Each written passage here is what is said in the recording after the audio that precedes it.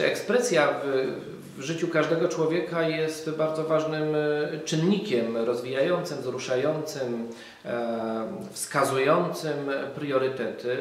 Myślę, że obrazy piaskiem w wykonaniu pani Tatiany pobudzają, pobudzają i do myślenia, i do wzruszenia, i do e, w konsekwencji chyba też do działania e, w e, określonym kierunku. To bardzo ciekawa forma artystyczna, e, którą nie wystarczy zobaczyć w telewizji. W tym trzeba uczestniczyć.